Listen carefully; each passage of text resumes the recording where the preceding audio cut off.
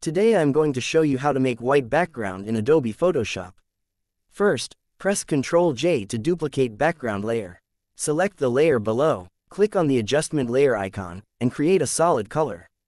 Then click OK. Select the top layer, go to Select, and Subject, go back to Select, and choose Select and Mask. Open the Properties panel. Under the View, select Overlay. I'm going to increase the opacity. Now, zoom the image. Open your Refine Edge brush tool. Just paint on the hair. To fix the selection,